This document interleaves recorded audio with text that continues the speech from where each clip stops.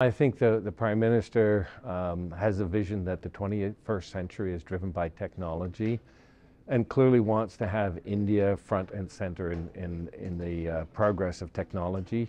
Um, he pointed out, obviously, the uh, very talented population in India. Um, it's a young population, average age of, of 28. Um, we know here in America how uh, well educated Indians are. I, one of the things I liked what he said was we want to have technology being in inclusive.